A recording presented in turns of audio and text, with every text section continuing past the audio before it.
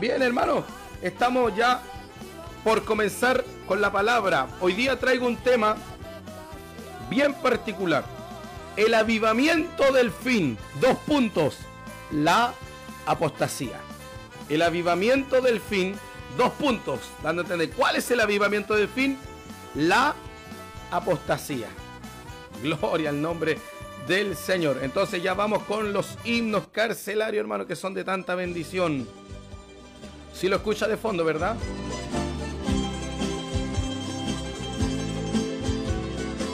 Gloria al Señor por los que ya se están conectando, hermanos. Permítame orar.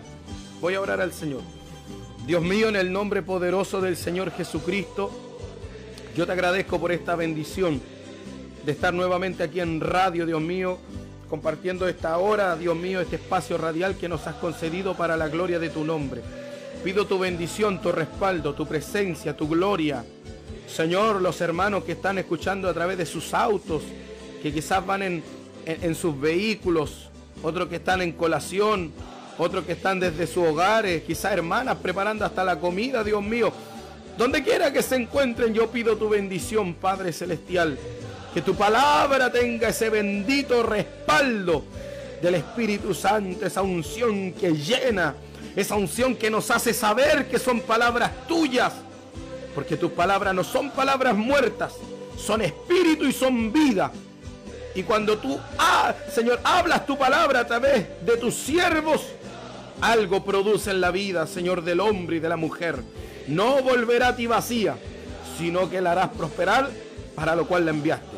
Te lo pido en el nombre de Jesús, bajo la bendición de nuestro Dios que es Padre, Hijo y Espíritu Santo. Amén.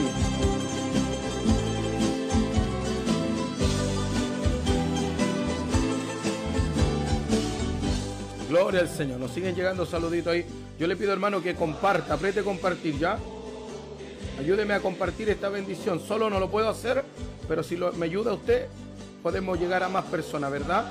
Que bendiga hermano Santiago Herrera, que nos deja un saludito igual, Priscila López.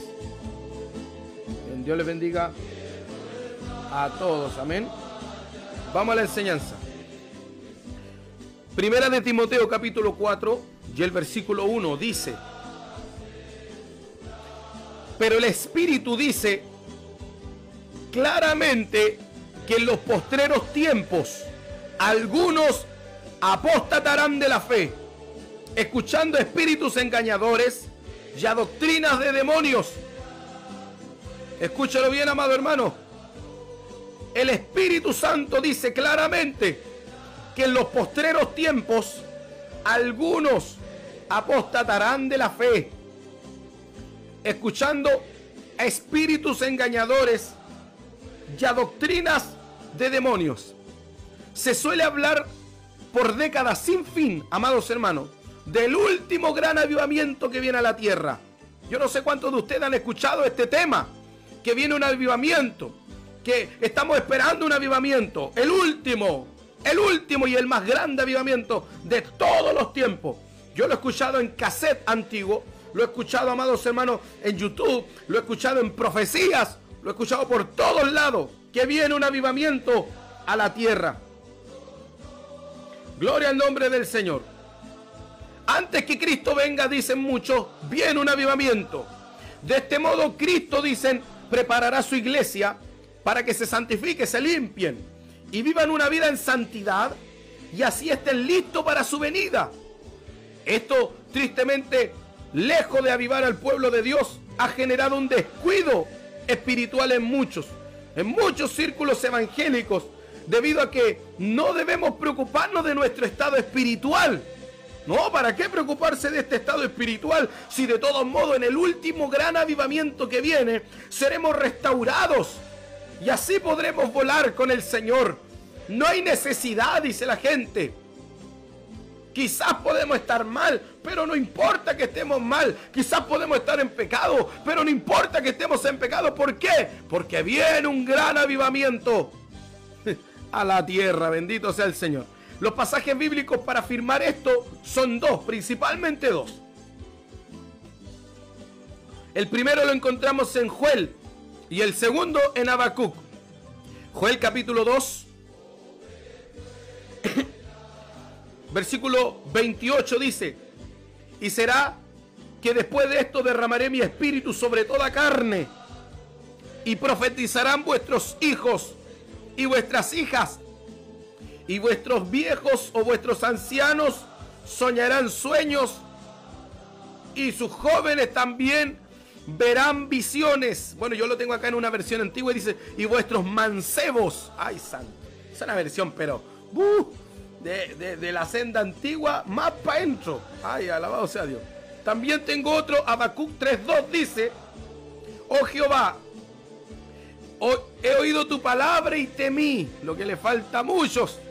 Escuché tu palabra y tuve miedo.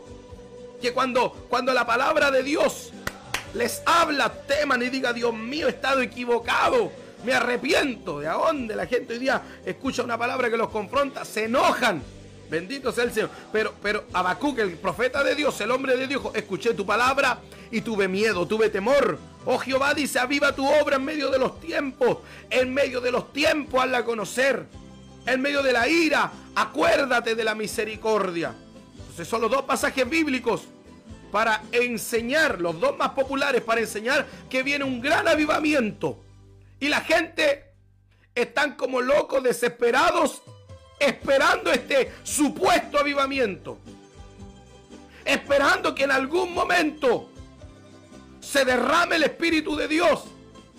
Y los que toda su vida han vivido en la carne, por fin comiencen a vivir en el Espíritu. La verdad, amados hermanos, es que no habrá tal cosa, escúcheme bien, no habrá tal cosa como un avivamiento mundial. No. ¿Por qué? Porque la Biblia no lo dice, punto. Así de simple. Pastor, ¿por qué usted se atreve a decir si yo lo he escuchado en profecía? Lo he escuchado, el Señor me lo mostró hasta en sueño bajo un ángel y me dijo a mí que iba a haber un avivamiento mundial. ¿Sabe por qué me atrevo a decírtelo? Porque la Biblia no lo enseña. La Biblia no dice que en los tiempos finales habrá un avivamiento. Punto, se acabó. Lo que profetizó Joel se cumplió ya en el aposento alto el día de Pentecostés, ese día fueron todos llenos del Espíritu Santo. Y Pedro mismo dice que se estaba cumpliendo lo que Joel profetizó. Imagínense que el mismo apóstol Pedro se dio cuenta, el mismo apóstol Pedro se dio cuenta que lo que había profetizado Joel no era para, para el 2023, alaba lo que él vive, era para, para ir al aposento alto el día que nace la iglesia, porque la iglesia nace en Pentecostés, no nace en Roma, como dicen, amados hermanos, los católicos romanos nace en Pentecostés, en Jerusalén. Gloria al nombre del Señor. Pedro dice, en Hechos capítulo 2, verso 14 y 17, por si usted lo quiere anotar. Hechos capítulo 2, verso 14 al 17 dice así. Entonces Pedro, poniéndose en pie con los once, alzó la voz y les habló diciendo, varones judíos y todos los que habitáis en Jerusalén, esto sea notorio y oíd mis palabras, porque esto no están ebrios como ustedes suponen puesto que es la hora tercera del día, o sea, todavía es temprano como para andar borracho, le estaba diciendo. Mas esto, dice así Pedro, esto es lo dicho por el profeta Joel. Y en los postreros días, dice Dios, derramaré de mi espíritu sobre toda carne y vuestros hijos y vuestras hijas profetizarán y vuestros jóvenes verán visiones y vuestros ancianos soñarán sueños. O como lo dice también la versión NTV, lo que ustedes ven, le dijo Pedro, es lo que el profeta Joel predijo hace mucho tiempo. O sea que lo que el profeta Joel profetizó no era para ahora, era para el día de Pentecostés. Y Pedro hace la aclaración y dice, esto que ustedes ven no es borrachera, esto que ustedes ven es lo que profetizó el profeta Joel. Ay, santo yo, pensé que se iban a gozar hoy día. Pensaba yo. Ahora, lo de Habacuc Aviva tu obra en medio de los tiempos que hemos hecho hasta alabanzas hermosas de ese, de ese pasaje bíblico. Es solo una oración de Habacuc, nada más. Es solo una oración donde hace una oración, amados hermanos, por la terrible necesidad espiritual en el contexto histórico en el que él vivía. Eso es todo. Entonces, decirle a la gente que viene un gran despertar, decirle a la gente que viene un gran avivamiento, es darle falsas esperanzas al pueblo del Señor. Es mentir, es distorsionar la verdad, es caer en el error, es tergiversar las escrituras. No, no y no, no viene un avivamiento. Oiga, pero aquí me levanté Ay, santo Jehová, que Dios me ayude, porque cuánto predicador he escuchado yo. Uh, usted supiera, hermano. ¿Sabe que lo que estoy haciendo yo aquí es tremendo? Porque decir lo que estoy diciendo en este preciso momento es irme en contra de muchos que ya han profetizado y han predicado que viene un último avivamiento. Ay, santo Jehová. Afírmate. Creo importante también señalar, amados hermanos, que eso no quita que Dios se pueda derramar de forma gloriosa con su Santo Espíritu en su iglesia. Nos puede bendecir de maneras maravillosas. Incluso en este último tiempo Dios puede seguir levantando paralíticos, yo lo he visto. Puede, puede sanar cojos, yo lo he visto. Puede sanar ciegos, lo he visto. Ay santo. Le puede dar voz al mudo, puede resucitar un muerto. Eso todavía no lo he visto. Ay santo. todavía no he visto que, al menos en este tiempo, que, no sé, alguien haya ungido a alguien o hemos orado por ahí y se haya levantado los muertos. Pero hay hermanos que sí lo han visto. Yo lo puedo hacer, claro que sí. Lo que sí me gustaría es ver a los muertos que alaban a Dios. Eh, ay, santo, los martes, los jueves y los domingos siendo resucitados. Alábalo si puede, para que lo alaben como corresponde. Los muertos no alaban a Dios. Eso me gustaría verlo, verlo resucitando. Alábalo pentecostal. Dios puede sanar lo enfermo, Dios puede darnos, no sé, ver cómo le podemos llamar, un mini avivamiento. Dios puede hacer cosas poderosas, cosas gloriosas, cosas tremendas. Dios lo puede hacer, por supuesto que Dios lo puede hacer, pero no el supuesto avivamiento del que hablan estos ignorantes de la Biblia, que le dan falsas esperanzas al pueblo del Señor y muchos han terminado turbados, errados, esperando un supuesto avivamiento. No importa cómo, cómo andes, no importa cómo estés tranquilo, viene el último avivamiento y ahí te vas a componer, ahí te vas a restaurar. Mentira del diablo, si no te restauras hoy, si no te restaura hoy, capaz que te vas a perder por toda la eternidad. Gloria al nombre del Señor. Ahora bien, sí se puede hablar de un gran avivamiento que va a venir, pero ¿en qué contexto? Escúcheme por favor, póngame atención. Usted sabe que yo soy, yo soy diésel, soy de, de los que empiezan lento. Soy motor petrolero. Se puede hablar de un gran avivamiento. Y que de hecho ya estamos viviendo ese avivamiento. Y este avivamiento sí está profetizado en la Biblia. Este sí. Este sí está profetizado en las Sagradas Escrituras. ¿Cuál es ese avivamiento, pastor? Es el gran avivamiento de la apostasía. Es el avivamiento de la apostasía. Ahora, ¿qué es la apostasía y quiénes son los apóstatas? La apostasía viene del griego, o apostasía, la palabra apostasía viene del griego apostasion, que quiere decir divorcio, separación, estar fuera de algo, renunciar a algo, es haber estado unido a algo, escúcheme, entrelazado fuertemente. Y de la nada, ¡pum! Hubo una ruptura que los dividió de tal manera que se creó lo que en griego se le dice apostasion y en español o castellano, apostasía. Una división, una ruptura, una separación, estar fuera, renunciar a algo. Alabado sea el nombre del Señor. Eso es apostasía. Se toma también, amados hermanos, de un matrimonio cuando se divorcia, ¿verdad? También se le conoce en algún término. No es lo más fiel a la, a la escritura, pero en algún término divorcio es apostasía, hay una separación. Existen por lo menos dos tipos de apostasía. Está la moral y está la teológica. Está la apostasía moral y está la apostasía teológica. La moral es, es la persona que una vez vivió en santidad, pero hoy vive como el diablo. La apostasía moral es aquella apostasía que algún día una persona vivió en santidad, pero hoy día está viviendo como Belcebú Hoy día está viviendo como le da la gana, hoy día, está viviendo como quiere. Es una apostasía moral. La apostasía teológica es aquella que desvirtúa, cambia, modifica o niega las grandes doctrinas bíblicas. Porque es una apostasía teológica.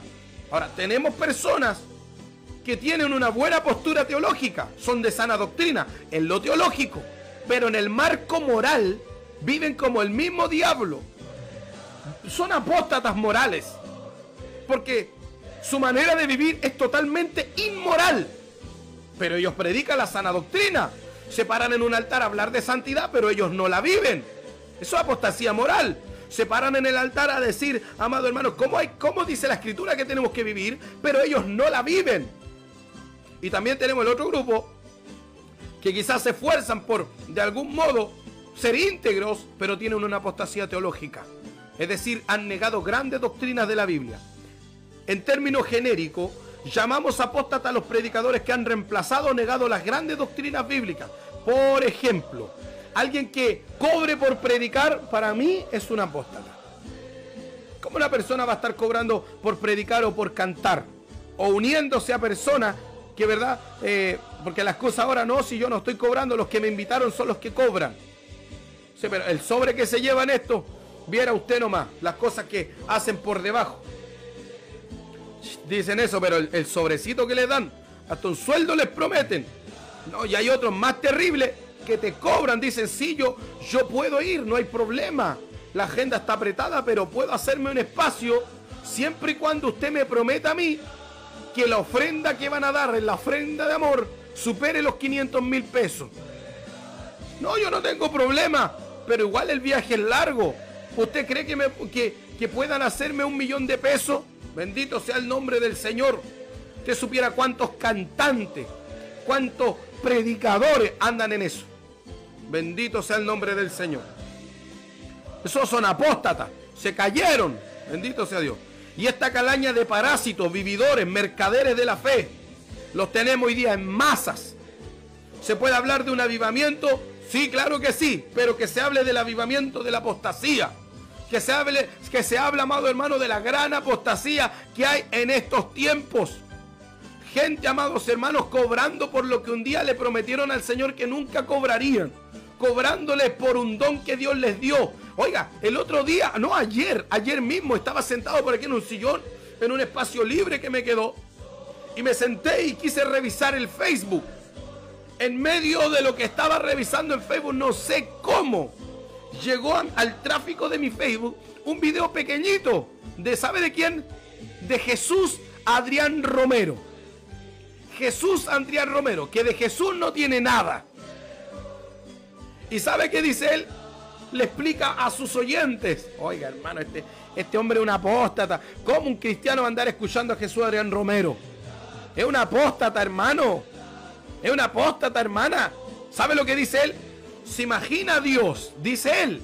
Por favor, entiéndame, esto es lo que dice Jesús Adrián Romero. Y esto está fresco. Recién salió el horno esta copucha, mire. Él dice así, ¿cómo Dios, si es tan amor, tan, tan bondadoso, tan amoroso, tan, tan generoso,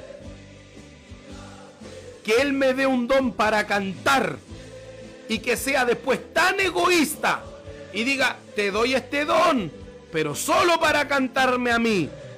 Qué egoísta sería Dios, dice él. Dice Jesús Adrián Romero, qué egoísta sería Dios si nos da un don para cantar y solo le podemos cantar a Él. El Señor reprenda al diablo y a toda la legión que tiene este metida en el cerebro. Hermano, si Dios te da un don, una gracia para cantar, para predicar, para lo que sea, todo, pero absolutamente todo es para Él. Todo es para Él, toda la gloria, la honra, la alabanza, el imperio, potencia, todo es para Él, amados hermanos. Nada es nuestro. Si Él me dio algo, por supuesto, por supuesto que es todo para Él. Y no, no es un Dios egoísta. No es un Dios egoísta por exigirnos alabanza. Y es que a quién más le podemos cantar. Dígame usted, ¿a quién más le vamos a cantar? ¿A quién más vamos a adorar? Oh, hermano, Dios es espíritu. Y es necesario que los que le adoran en espíritu y en verdad le adoren. Mire las tonteras que anda hablando esta gente. Un día dice en una entrevista el secular, este mundano, impío de Jesús Adrián Romero, dice él, nombrar a Jesús en mis canciones me limita. Si yo nombro a Jesucristo en mis canciones, me limita como artista. Oh, hermano, un poco de levadura leuda toda la masa. Por eso, si Dios te está levantando en la palabra, Dios te está levantando en el canto, Dios está levantando tu coro o de lo que esté a cargo, recuérdate, no dejes entrar ni un poquitito de levadura. Porque los que han dejado entrar solo un poco de levadura terminan con toda la masa leudada. Eso es lo que dice la escritura. Están ciegos los que lo siguen, me escriben acá, por supuesto. Ramonelita dice, excelente tema, pastor, gracias, eh, eh, gracias por haber, por hacer ver a través de la Sagrada Escritura cómo debemos vivir nuestra vida diaria. Gloria al nombre del Señor.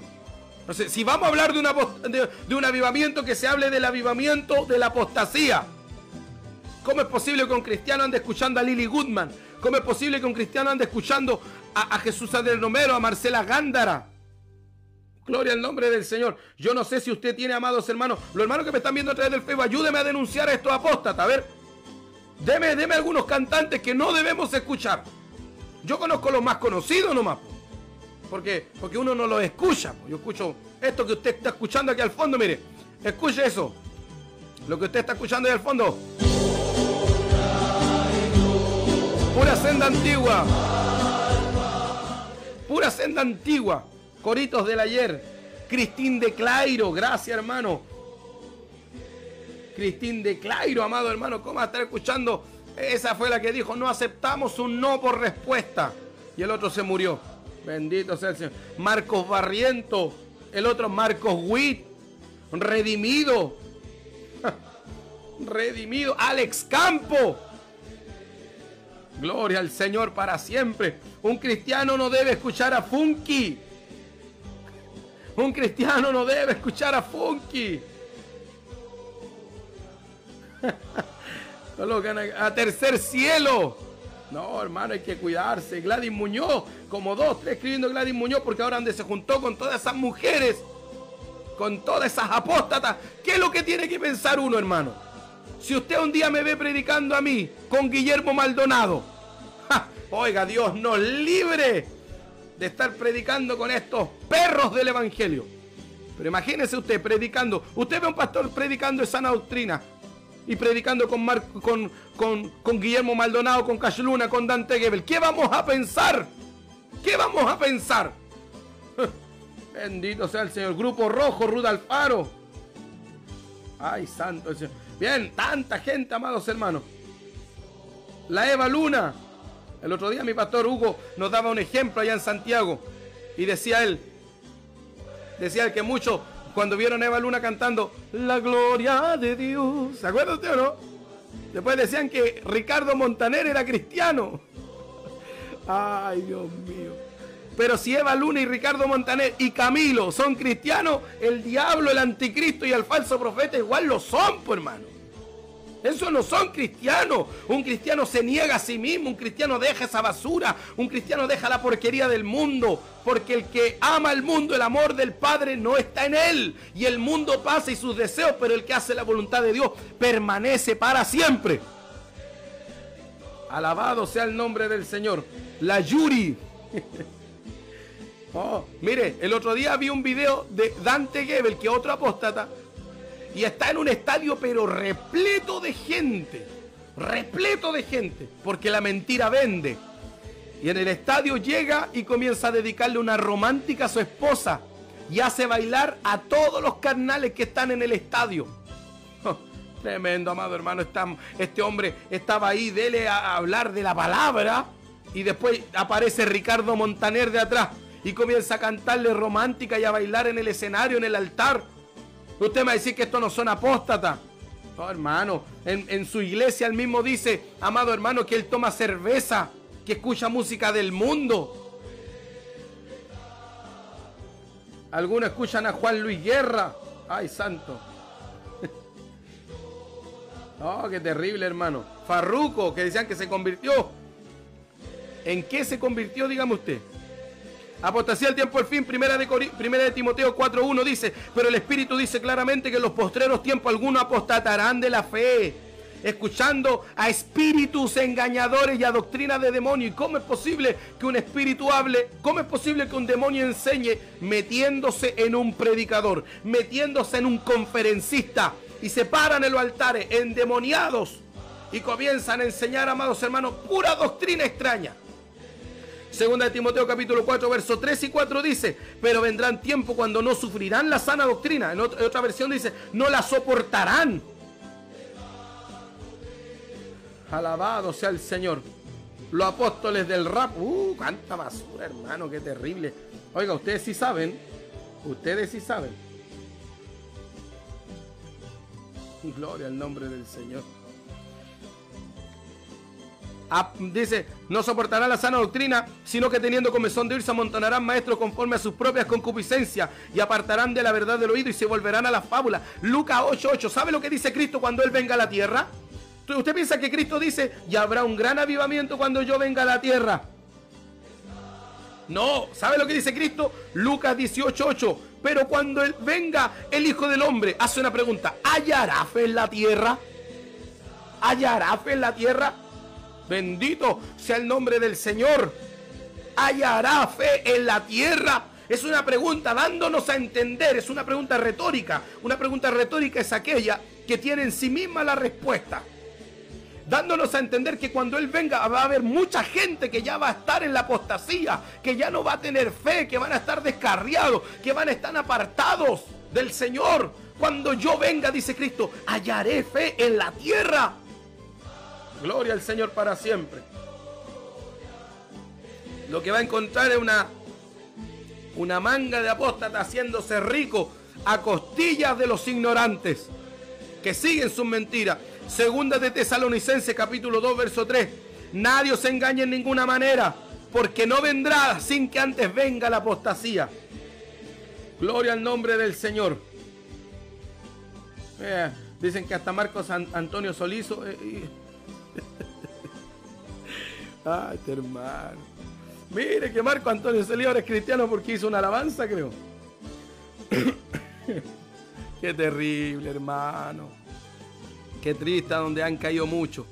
Esto es lo que sí está profetizado en la Biblia. Esto es lo que sí hemos visto, estamos viendo y seguiremos viendo la apostasía. Ese es el avivamiento del fin, la apostasía.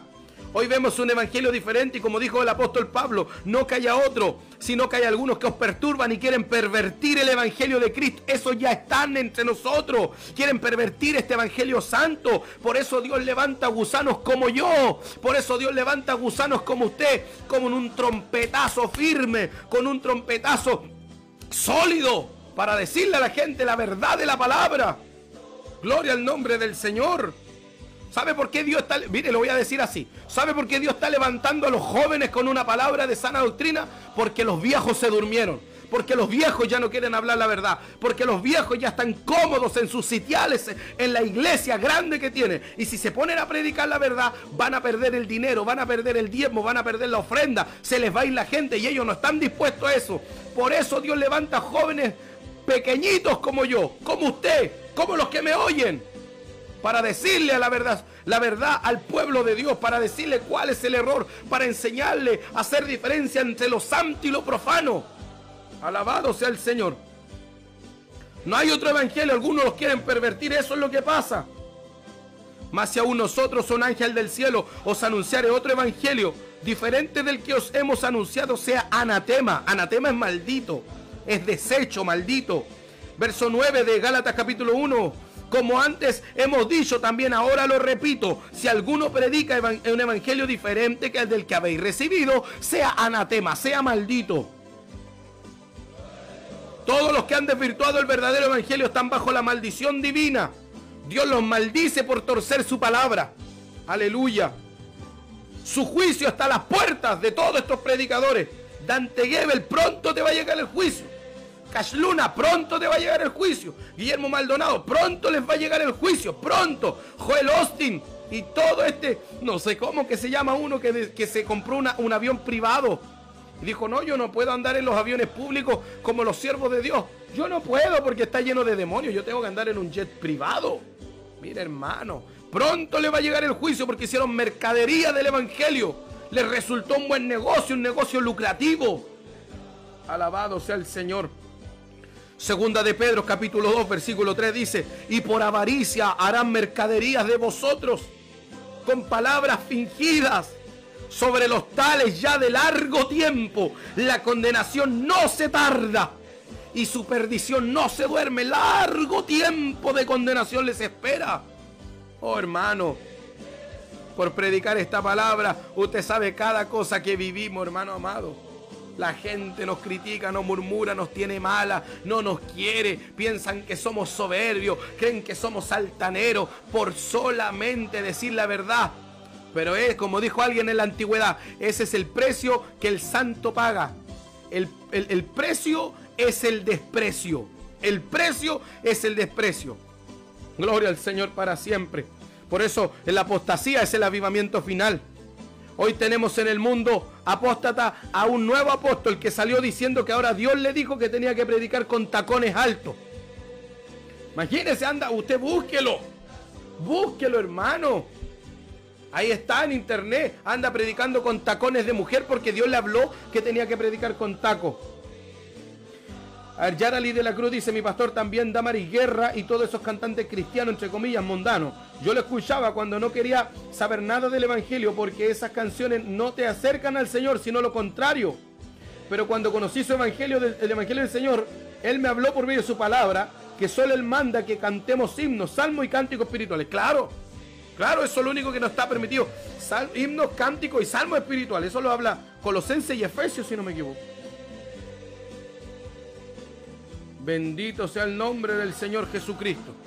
Otro tenemos el Paul Mackenzie, allá en, ah, en, Kenia, que dijo a su iglesia que tenían que ayunar, que Dios le dijo que ayunen hasta la muerte, hasta la fecha, hoy, 2023. Hasta la fecha van más de 200 muertos. Su congregación se está muriendo en ayuno.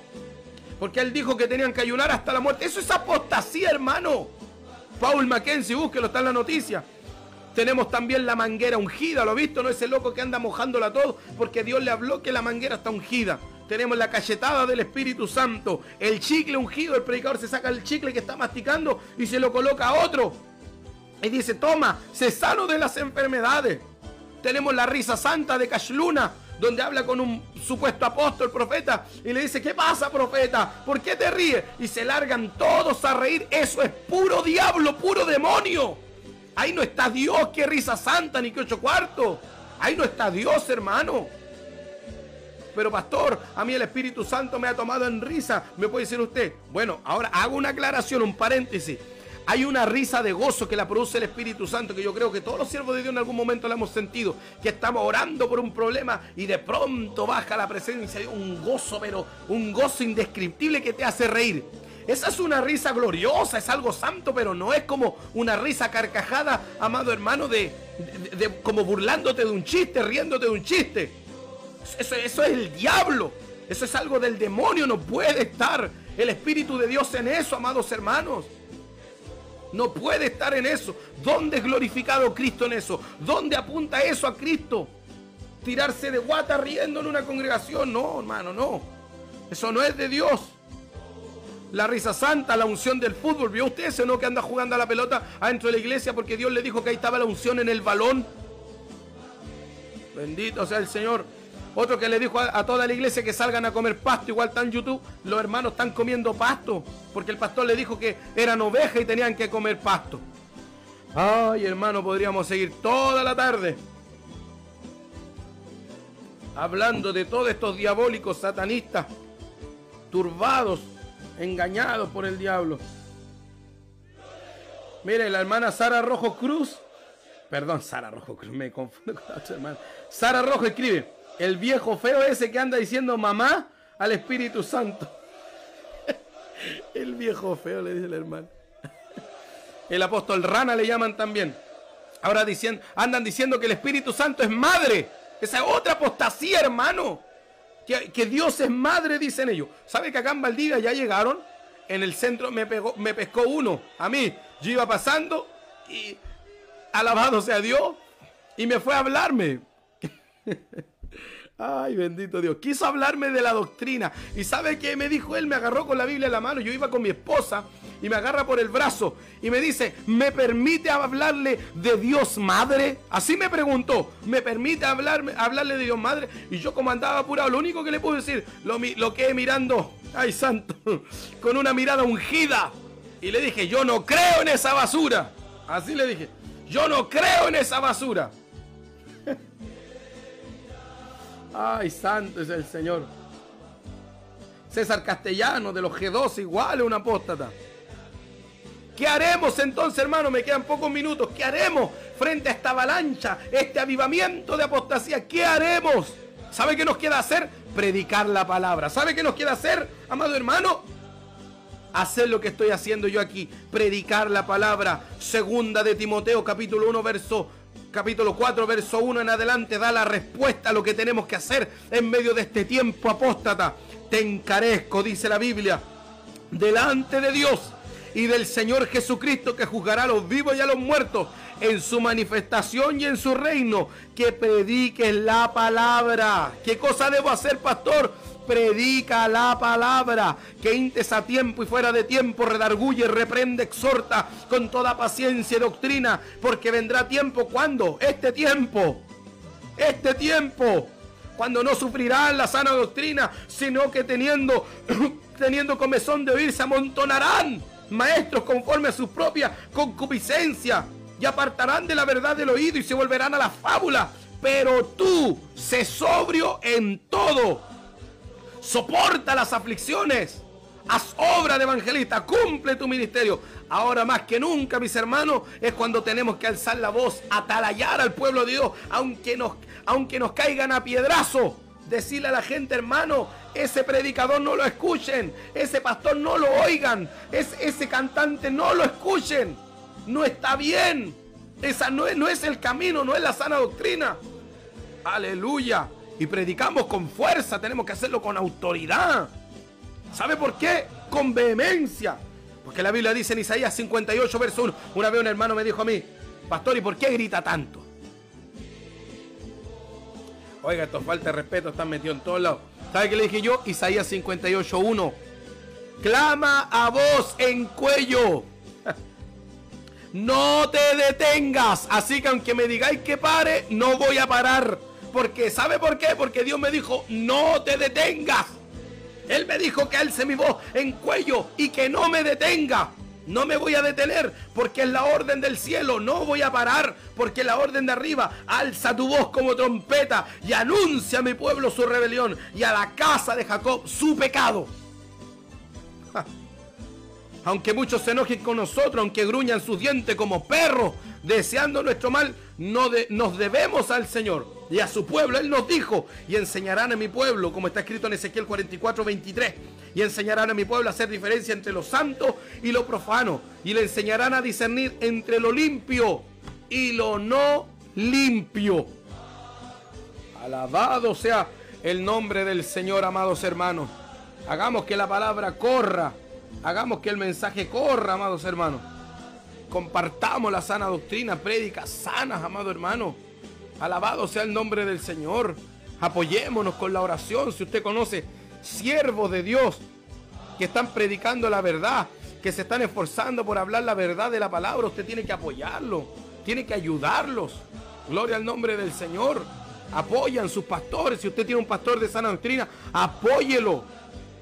Ayúdelo de todas las áreas, en oración, en ayuno, financieramente también puede ayudarlo, porque antes le daba todo el dinero al diablo, antes le daba todo el dinero al alcohol, antes le daba todo el dinero a la droga, y ahora no puede, no puede apoyar, aleluya, a los siervos. Ay, santo Jehová. Es tiempo de apoyarnos, los de la sana doctrina, apoyarnos uno a otro, estimularnos unos a otros, acompañarnos unos a otros predicar la palabra, la verdad, tal cual como está escrita, amados hermanos. Gloria al Señor. Alabado sea el Señor. Hermoso mensaje. Gracias a Dios por tu enseñanza. Gracias. Amén. Dios le bendiga. Hermana Carol dice, Dios le bendiga grandemente mi pastor y que le siga usando grandemente para enseñarnos. Gloria a Dios para siempre. Me quedan, a ver, me quedan dos minutitos para saludarlo, hermano. Tres minutitos para saludarlo, a ver si alguien quiere dejar algún comentario, aportar algo a este tema. ¿Cuál es el avivamiento del fin? La apostasía. ¿Y qué es lo que tenemos que hacer? Predicar la palabra. Por eso que usted ve, amado hermano, y dice, uy, estos pastores siempre mencionan los apóstatas, siempre hablan en contra de la apostasía, siempre lo... ¿Sabe qué dice la Biblia? Predica la palabra. ¿Qué más vamos a hacer? ¿Qué más vamos a señalar? Si es la apostasía lo que se está viendo. Tenemos que insistirlo. Y la escritura misma nos enseña a insistir. Los apóstoles, tanto Pablo como Pedro, dice, a mí no me molesto repetir las mismas cosas y para vosotros es seguro. No me molesto repetir las mismas cosas y para vosotros es seguro. ¿Y por qué a veces tenemos que repetir? Porque hay hermanos que parece que se tapan los oídos y no quieren atender a la palabra. del Señor. Marcela está Soto dice amén, amén, gloria a Dios. Apoyamos a nuestros pastores porque ellos nos alimentan y nos enseñan el camino angosto. Gracias, mi pastor, por la palabra. El Señor nos, libre de la apostasía, dice Roxana. Amén, amén. Saludos, dice el hermano Tommy. Dios le bendiga. Cristian Villalón dice, si hay una sana doctrina, también hay una enferma, por supuesto. Que no sana, sino que enferma. Jessica Fuente Alba, mi pastor, hermoso mensaje. Siga predicando nomás como, como digo yo, al hueso. Amén. Me quitó hasta el sueño, pastor, escribe Felipe Muñoz. Ay, gloria al Señor, hermano. Hay que seguir adelante, avanzando, avanzando con la ayuda del Señor. Ya, mis hermanos, así que yo creo que hasta acá quedamos con el programa de hoy. Mañana, nuevamente, a la misma hora, por el mismo canal. ¡Ay, santo! por el mismo canal nos vemos, hermano. ¿Ya? Mañana a la una de la tarde estamos nuevamente con la ayuda del Señor, listos y dispuestos para predicar la palabra del Señor. Y este sábado, este sábado viajamos hasta Quilquilco. Vamos a predicar la palabra del Señor hasta ese lugar, amados hermanos. Así que atentos ahí Gloria al Señor para recibir la palabra del Señor. A Quilquilco nos vamos este sábado con la ayuda del Señor. Hay harto trabajo en la obra. Si usted es de Valdivia, lo dejamos invitado al culto hoy a las siete y media de la tarde para la gloria del Señor. Dios me los bendiga. Grandemente.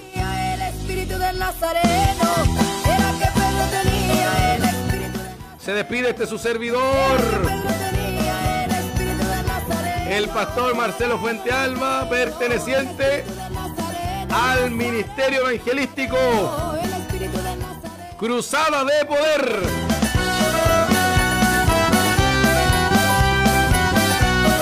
Aleluya.